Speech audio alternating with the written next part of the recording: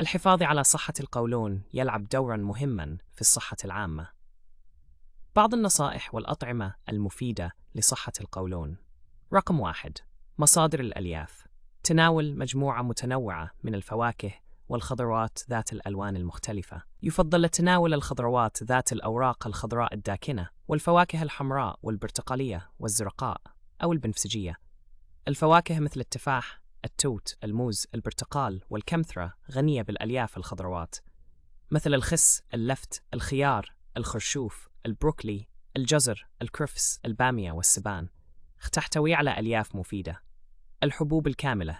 تناول الحبوب الكاملة مثل دقيق الشوفان، الأرز البني وخبز القمح الكامل تحتوي الحبوب الكاملة على الفيتامينات والمعادن والألياف المهمة للقولون. الدهون الصحية. تناول الدهون الصحية الموجودة في زيت الزيتون، السلمون الغني بالأوميغا 3 والأفوكادو. قلل من تناول الأطعمة المقلية.